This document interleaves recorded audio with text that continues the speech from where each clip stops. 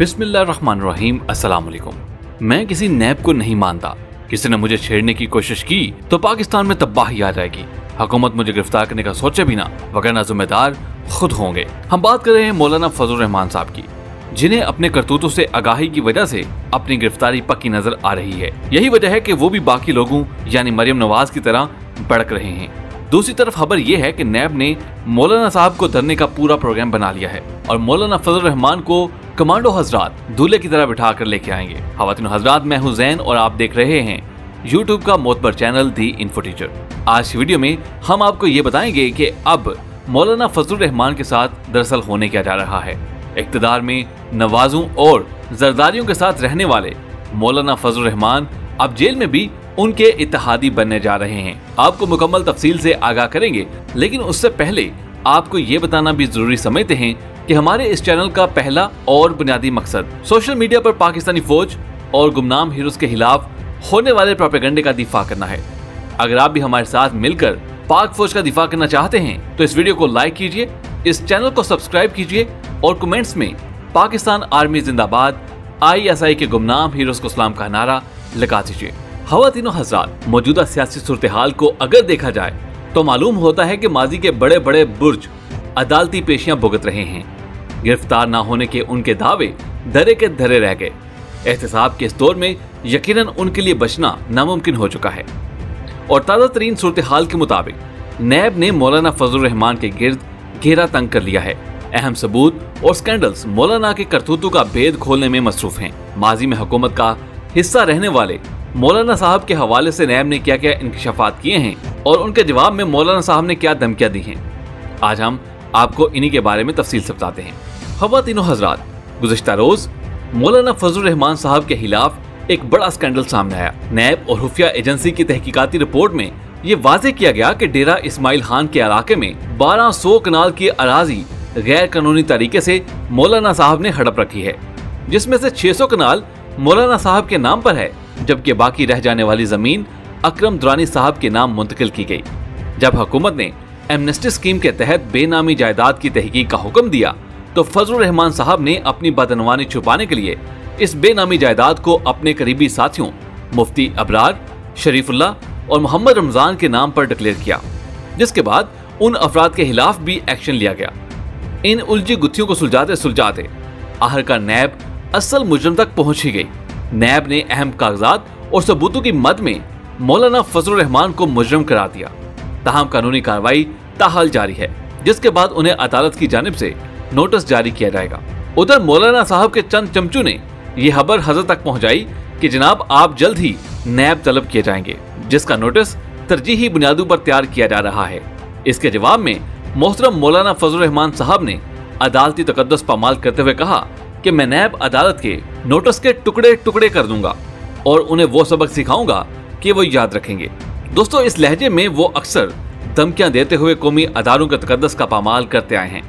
بظاہر علماء کے لباس میں ملبوس، کیا ایک شخص کو یہ بات زیب دیتی ہے کہ دین اسلام میں عدالت کو ایک معتبر ادارہ قرار دیا گیا ہے، جبکہ ہزاروں افراد کی نمائندگی کرنے والے لیڈر کو اس قسم کا لہجہ استعمال کرنے کی ہرگز اجازت نہیں دی جاتی۔ فضل الرحمان صاحب، دینی تعلیمات کی نفاذ پر ایک عرصے سے لیکچر دیتے آئے ہیں۔ تاہم، جب بھی بات ان کی ذات تک آتی ہے، تو موصوف دینی اقدار کو بلا کر تیکھے لہجے میں اپنے محالف کو آڑے ہاتھوں لینے سے بھی نہیں کتراتے۔ ماضی میں کرپ ٹولے نے ان کے اس عمل کی وجہ سے کوئی قانونی چارہ جوئی نہیں کی، تاہم وقت ایک سر نہیں رہتا۔ موجودہ حکومت نے یہ بات واضح کر رکھی ہے کہ انصاف کے ترازو میں ہر کوئی برابر ناپا تولا جائے گا، چاہے پھر وہ کوئی دیندار شخص ہی کیوں نہ ہو۔ معزز دوستو، نیب کے اس ایکشن کے بعد فضل الرحمان صاحب نے اشتعال انگیزی کو جنم دینا شروع کر دیا ہے۔ ان کے مدارس میں موجود معصوم بچوں کو مہرہ بنا کر یہ افراد اپنے مقاصد کو پورا کرنے کی کوشش کرتے ہیں۔ ڈائریکٹلی اداروں کو دمکانے کے لیے کرپٹ مافیا اور ملک دشمن عناصر ان کی سرپرستی میں ہمہ وقت محسوس رہتے ہیں تاکہ پاکستانی قوم دین کے نام پر ان کی کہی باتوں پر عمل کریں۔ اس بار حکومت نے مولانا صاحب کے اوچھے ہتھ کنڈوں کو چلنے سے قبل ہی کچلنے کا ارادہ کر لیا ہے۔ عمران خان صاحب نے خصوصی طور پر مولانا کو کیفر کردار تک پہنچانے کے لیے ٹھوس ثبوت اور لائحہ عمل تیار کرنے کی ہدایات جاری کر رکھی ہیں۔ یہی وجہ ہے کہ نیب عدالت اور خفیہ ایجنسیز تقریباً پچھلے چار ماہ سے اہم ثبوت حاصل کرنے میں مصروف رہیں۔ اب کی بار ایک جامع رپورٹ عدالت کو بھجوائی جا چکی ہے، جس میں مولانا فضل الرحمان صاحب کے خلاف انتہائی سنگین جرائم کی لسٹ اور شواہد موجود ہیں۔ این ممکن ہے کہ رواں ماہ مولانا فضل الرحمان کو عدالت میں حاضر ہونا پڑے۔ دوسری جانب اگر دیکھا جائے تو مولانا صاحب کا پاکستان میں کوئی خاص بزنس موجود نہیں ہے۔ اس کی تردید وہ خود بھی اپنے بیانات میں کرتے آئے ہیں، جبکہ ان کے زیر استعمال۔ تین تین کروڑ کی گاڑیاں اور رہائشی محلات ہیں۔ کشمیر کمیٹی کے چیئرمین رہنے والے فضل الرحمان اگر یہ سمجھتے ہیں کہ ان کا دامن صاف ہے، تو انہیں عدالت حاضر ہو کر بارہ سو کنال اراضی کی تفصیلات دینے میں کوئی دقت نہیں ہونی چاہیے۔ بے نامی جائیداد کو کسی اور کے نام پر شو کرنا بھی ایک جرم ہے۔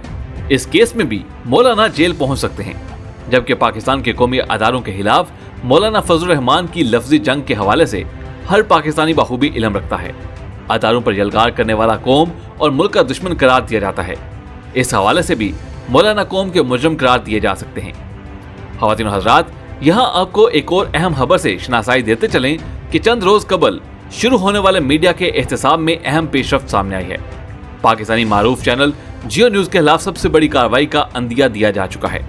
اگر آپ دوستوں کو یاد ہو کہ جب خواجہ آصف وزیر دفاع کے عہدے پر فائز تھے، تو فوج کی جانب سے ایک لیٹر انہیں بھیجا گیا تھا۔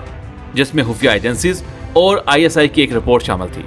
اس لیٹر میں صاف الفاظ میں درج کیا گیا تھا کہ جیو نیوز پاکستان کے خلاف کام کرتا ہے، جبکہ اس نیوز چینل سے منسلک بیشتر افراد کے تعلقات ملکی غداروں سے بھی ملتے ہیں۔ اس حد میں حکومت سے درخواست کی گئی تھی کہ اس چینل کے خلاف عدالتی کاروائی عمل میں لائی جائے۔ چونکہ اس وقت برسر اقتدار نون لیگی قیادت تھی جس کا میڈیا سیل جیو نیوز ہی ہینڈل کرتا تھا۔ یہی وجہ ہے کہ بھارتی رقوم کے عوض اس کاروائی کو نہ چلایا جا سکا، جس کے بعد جنرل راہیل شریف نے غم و غصے کا اظہار کرتے ہوئے ازہد جیو نیوز کے خلاف ایکشن بھی لیا تھا۔ اور چند ہی دنوں میں جیو نیوز کے مالکان معافی مانگتے دکھائی دیے۔ تاہم بعد ازاں چند حکومتی عہدیداران نے اس معاملے کو اپنے مفادات کی خاطر دفن کر دیا۔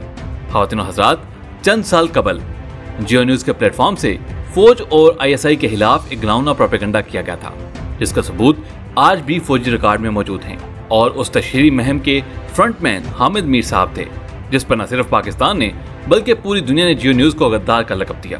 ان دنوں عمران خان صاحب نے اپنے جلسوں میں بھی اس شخص کو بے نقاب کیا اور کہا کہ فوج کے خلاف بولنے والا کبھی ملک و قوم سے مہلس نہیں ہو سکتا۔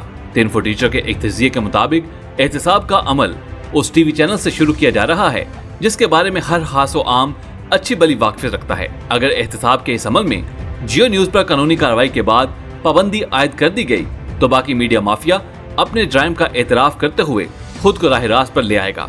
تاہم نیب نے اس لیٹر کے حوالے سے اہم ثبوت حاصل کر لیے ہیں اور ممکنہ طور پر جلد ہی غدار میڈیا کے خلاف محاذ کھولے جائیں گے۔ احتساب کے اس عمل کے لیے ہر پاکستانی کو تیار رہنا چاہیے۔ دوستو، احتساب کے عمل کے حوالے سے اسلام بھی ترغیب دیتا ہے کہ قوم حاکم وقت کو بھی کٹہرے میں لا سکتی ہے۔ قوم اس بات کا حق رکھتی ہے کہ گاڑیوں اور عیاشی کے لیے آنے والا پیسہ کیا غریب عوام کی جیبوں سے تو نہیں چرایا جا رہا؟ اس حوالے سے کئی مثالیں تاریخ اسلام کا حصہ ہیں۔ اسلامی نظام پر عمل درامد کروانے کے لیے جلد سے جلوسوں میں مولانا صاحب عمدہ مثالیں بھی دیتے پائے گئے ہیں۔